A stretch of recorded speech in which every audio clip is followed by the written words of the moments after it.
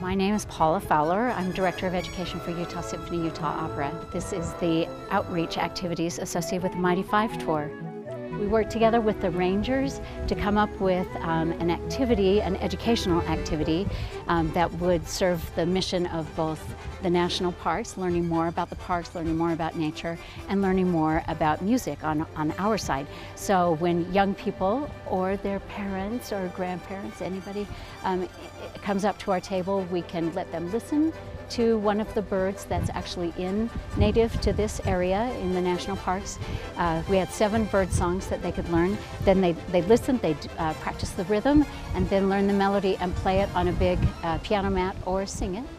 And then throughout the day, the Woodwind Quintet, the Aspen Winds, have been playing short concerts, and the group chose musical selections that echo sounds of nature, bird songs, animal sounds, and then they end every day with an afternoon concert um, at a venue inside the national park.